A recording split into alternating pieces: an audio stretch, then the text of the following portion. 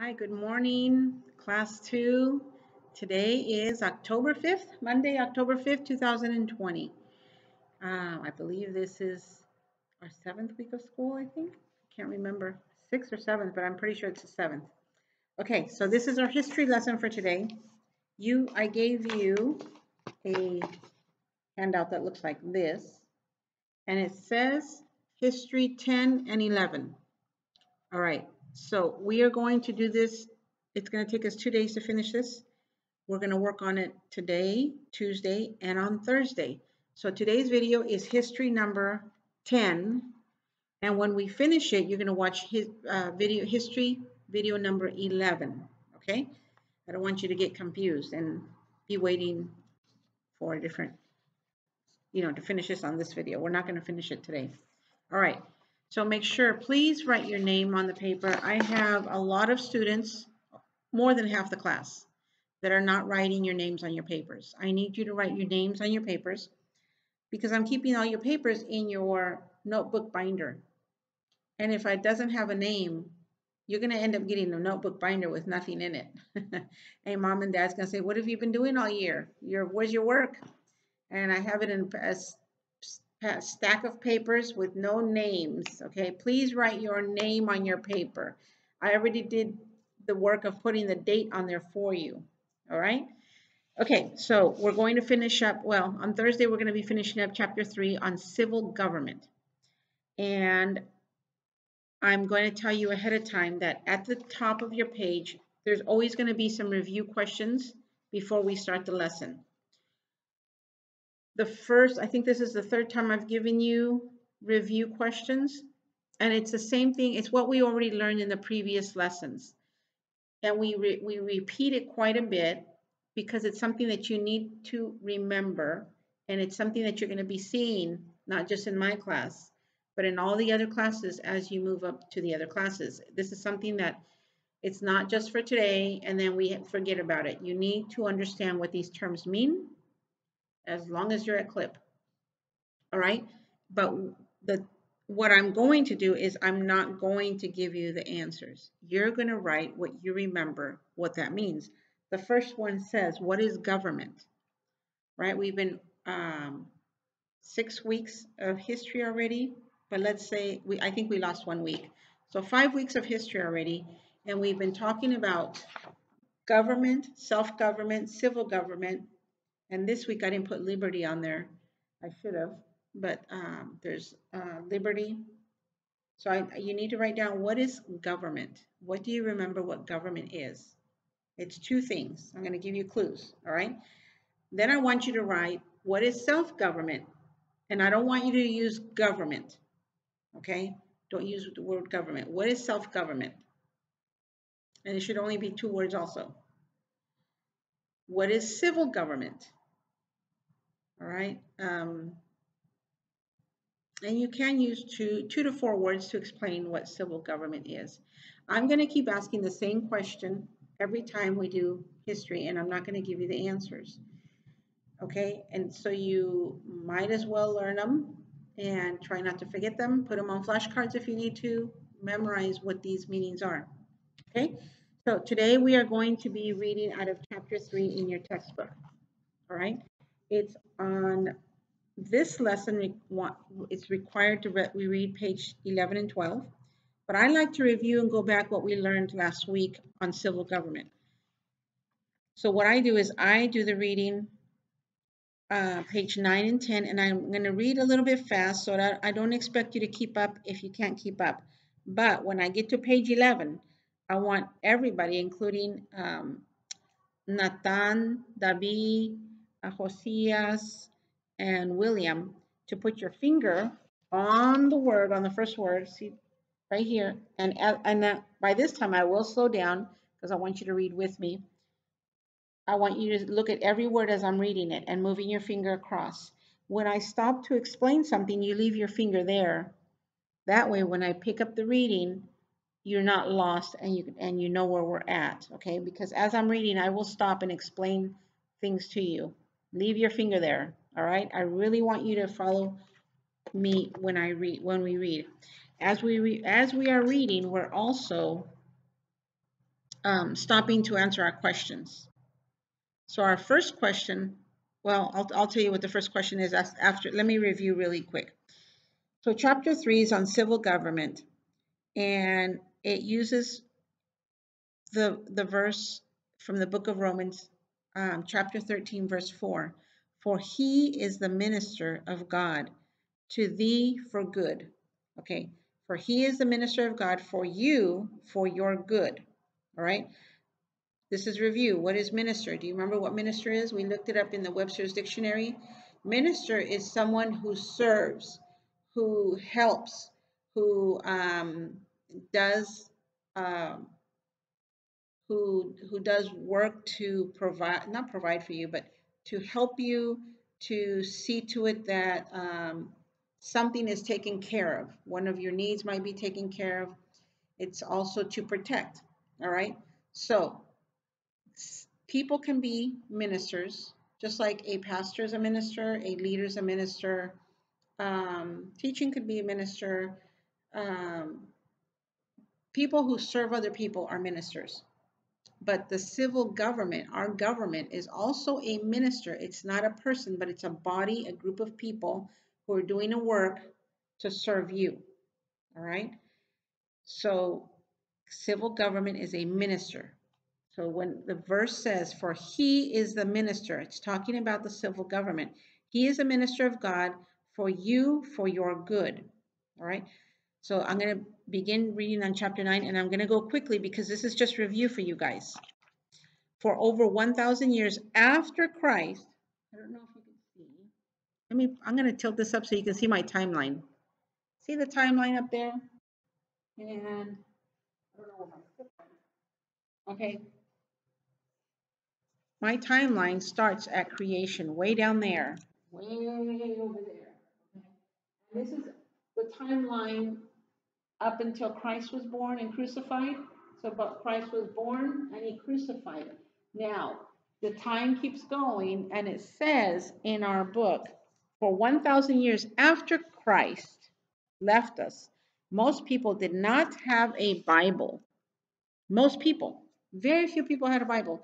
Finally, when men had the Bible, they learned that they should govern their own actions. Did you hear that? When they got a Bible, they learned. They learned things that they didn't know. They were ignorant. They learned that they should govern themselves, just like we teach you here at KLIP to, to govern yourself. It's called self government. God teaches us that every family is to govern itself. So every family should govern itself and make sure that they are doing the right thing. Nobody should have to come and tell you how to behave if you're if you're doing what you're supposed to be doing. I don't think you want people to come and tell you. I mean, as a child, yes, you are under the government of your mom and dad until you're an adult. Because you're learning how to self-govern yourself. You haven't learned how to self-govern yourself yet. Okay, so they learned how to govern themselves as families live together in cities and nations. Their liberty to govern themselves must be protected. So Every family should govern themselves, but nobody should come and try to tell them what to do if they're doing the right thing. So that means that liberty that they have to do what was right had to be protected and make sure nobody took it away. So by reading God's word, men also learned that God had a plan. He had he, they learned two things. Well, more than two things, but pertaining to self-government. They learned that God has a plan for nations and they learned how nations should be governed. So they, they learned that they had to be governed and they learned how to do it. All right. As men studied the Bible and learned about self government and civil government, they learned that God planned for civil government to protect those who were doing good. So they learned that self government is for you to govern yourself Civil government was for those to protect you because you were doing the right thing. Because there's always evil out there, and evil's always trying to take to overcome good. So we need to protect ourselves. Just like um, uh, I have, just like our, remember our verse, Proverbs 4:23. keeping our hearts with all diligence. That's protecting our hearts. We protect ourselves. But we need also to make sure that someone doesn't try to come and take that away. That's what civil government is for. Um, they also learned that God planned for civil government to punish those who were doing evil. It was also to punish those who were not doing good. They chose not to do good. So we need to protect ourselves from people who choose to do evil.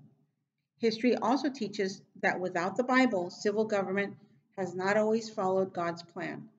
So without government, we cannot follow God's plan. God has a plan for government. We must have government, whether it's internal or external. Someone else doing it for you or you do it yourself. It's better if you do it yourself, right? So his, uh, as men learned that they could govern their own actions and their own families by the Bible, they wanted civil government to govern the way God planned. They wanted civil government government to protect their liberty. And liberty is to do what is right. That's what liberty is. The right to do what is right. Men had to learn from the Bible what God planned for civil government. All right. So now our lesson begins here on chapter, I mean, on, on page 11. So put your finger here and I will slow down so you can keep up with me. Our first question is going to be, how do we have liberty in our hearts? How do we have liberty in our hearts? Excuse me. And that's more of a review question. So before we start reading, remember what it what we read in chapter 2. How do we have liberty? We have men, all men are sinful. We're all sinful.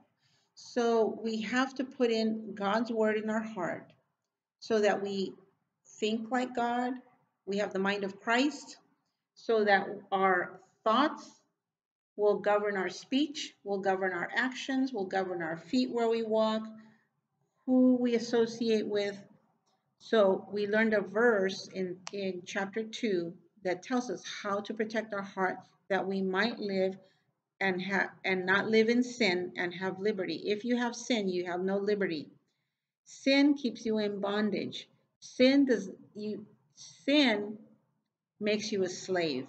All right? You don't you anything that is not from God will keep you a slave. It will keep you in sin and you will not have liberty and you will do things that you don't want to do. Sometimes you don't want to do something but you do it anyways, right? So that is sin. That is um you're, you're in bondage. We want to be free. We, we live free by living the Word of God. So we remember we studied the, the question number one. Your answer is going to be how do we have liberty in our hearts? By keeping our hearts with all diligence. We protect. Remember, keeping means protect or guard. We watch what goes into our hearts with all diligence. That means constantly, constantly. We don't we don't let down. We, we're always watching what's coming into our hearts. We're careful what comes into our hearts. We feed ourselves with the Word of God to give us good thoughts and good actions and good decisions. And, and that, when you do that, you will be able to self govern yourself. All right. So if you need to pause it, go ahead and pause. I'm going to continue with number two. It says, If we do not obey God in our hearts and follow God's words in our lives, will we have liberty? If we do not obey God, like he tells us in the Bible, if we don't put his word in here and do what he says, and we follow what he says in our lives, are we going to have liberty? Okay, I'm not going to answer that for you. I want you to write down what you think. It can just be a yes or no answer. And you and if you want, you can say if you say yes, why? If you say no, then tell me why. All right. Um, let's read from chapter, I mean, page one. It would take many, many years to change civil government. First, the people had to learn to govern themselves. Learn, uh, being self-governed is a learning process. It takes time. It's not overnight. You read the Bible every day. You learn what God has for us, the plan that He has for us, um, how he keeps us protected from evil, and we do what he says. We don't just read it. We learn and we do. We learn what he, he says and we do what he says. So people had to learn how to govern themselves. Leaders had to be prepared to make laws according to God's word. So in government, laws should be made according to what the Bible says, not just what man thinks is right or wrong, because we are sinful. We do not, uh, we don't have good in our hearts. Only God, God's word can put good in our hearts. Rulers, uh, which are leaders, had to punish those who did evil. So that's what civil civil government does. It protects those who do good and punishes those who do evil. The study of history shows how God used men and women to lead in changing civil government. So a nation who wants to who wants to have a civil government needs to do it God's way and it takes time. People need to be prepared. All these people that you see up on my look up here on my timeline, God prepared them ahead of time to do what they did in history. Okay? God is preparing you that you may be a leader and do things according to God's plan, according to the way God wants. It's God's will, not ours. God's will is perfect, ours isn't. The study of history shows how God used men and women to lead in changing civil government. History shows how hard it was to have good self government. Listen carefully. It was hard to have good civil government and how hard it was to protect liberty. It's hard to protect liberty. It's not easy. Okay? We have to constantly be fighting evil forces that don't want good in this world. Some men and women died so others would have liberty. It's so hard that people had to die that you and me could have liberty. It cost thousands of people to die to protect our liberty that we have now. So once we have it, it's easier to hold on to it and do what we need to do to keep that um, that liberty than to lose it and try to get it again. Because trying to get it again, guess what's going to happen? People are going to have to die again. And people died in wars. Sometimes you have to go to war. And usually the ones that go to war first are the young men. If we go to war in a few years, which I don't believe we are, um, but you know, only God knows. And you happen to be 18 years old, 18, 19, 20, guess who's going?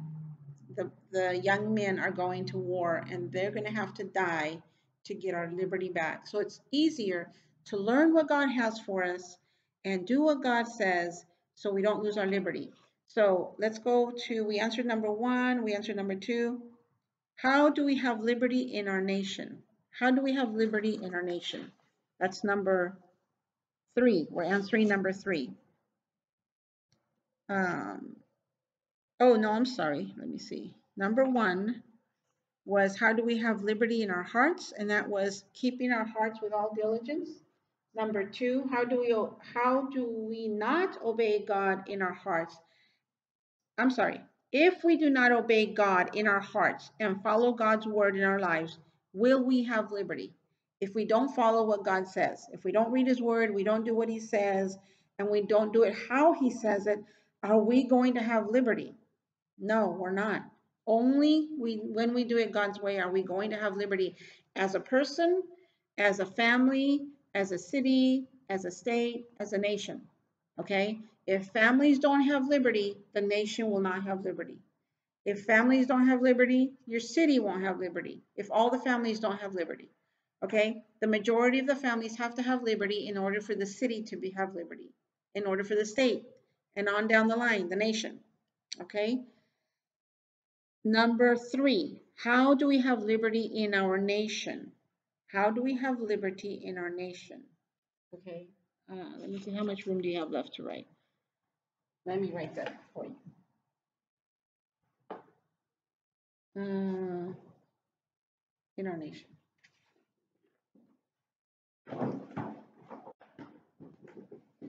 Okay. This is how we have liberty in our nation. The individual, one person, each person needs to be free from sin to have liberty and be self-governed. That's how a nation becomes free. It starts with the individual and then the family. All right? Um, let me correct them. Be free, the individual, um, yes. Okay, tell them, give me three minutes. Okay, I'm making my dots bigger so you can see them, but when you dot your eyes, you don't have, doesn't have to be that big.